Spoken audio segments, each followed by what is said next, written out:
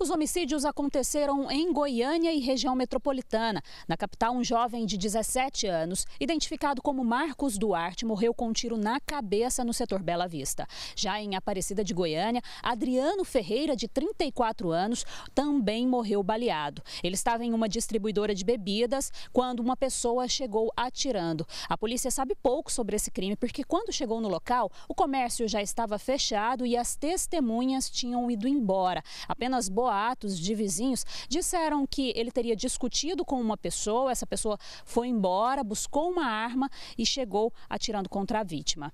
Em Hidrolândia, uma pessoa foi morta, mas não foi identificada. E por último, em uma estrada vicinal entre Trindade e Abadia de Goiás, uma pessoa também foi morta, não foi identificada e a Polícia Civil registrou o crime como latrocínio.